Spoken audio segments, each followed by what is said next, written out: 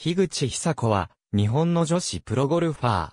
日本女子、プロゴルフ協会相談役、元会長。富士通所属。男女を通じて、アジア出身選手初のメジャー選手権優勝者。日本人初のルプが、メジャー選手権優勝者。優勝回数73回は、日本歴代女子最多。日本人初の世界ゴルフ殿堂入り。埼玉県川越市出身。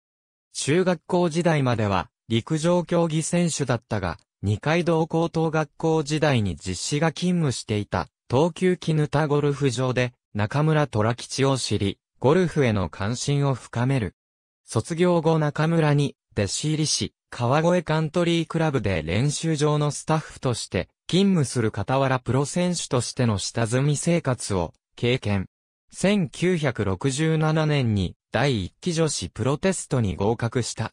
その翌年、日本女子プロゴルフ選手権大会 TBS 女子オープン選手権の2大日本メジャーを連覇。以後1970から80年代にかけて、これら2冠を独占するなど、日本女子プロゴルフの先駆者としての地位を築く。1970年からは海外にも参戦。1974年にオーストラリアン女子オープン優勝。1976年にヨーロピアン女子オープン優勝と海外での実績も着実に積み上げる。さらに1977年には全米女子プロゴルフ選手権に優勝。アジア人初のメジャー制覇を果たし、世界もその実力を認めた。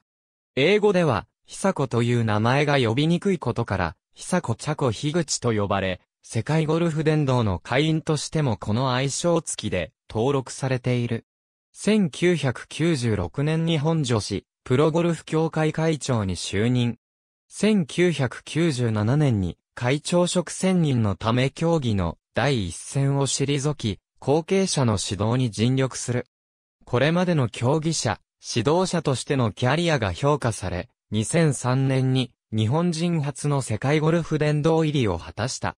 また以前から開催されていた、気分レディースクラシックが、樋口の功績を称えた、樋口久子、気分クラシックとして開催された。2011年1月末でジェルピーガの役員定年を迎えたため会長を退任し、相談役に就任。2014年には、ゴルフ界から初めて文化功労者に選出された。2018年には、日本ゴルフ協会特別顧問に就任。思い切り体重移動することで、体の軸までも移動してしまう独特な打法で、樋口流、スウェーダ法とも呼ばれる。外国人選手に比べてはるかに劣る腕力や、ウェイト不足を補うために編み出された打法。樋口は、足の筋肉が強いため軸がぶれずいい球を打てるが、ゴルフでは、セオリーとされる、スイングプレーンの概念を否定するものであり、大半の人物がこの打法で打つと、体の軸がぶれて、およそ安定したスイングにはならない。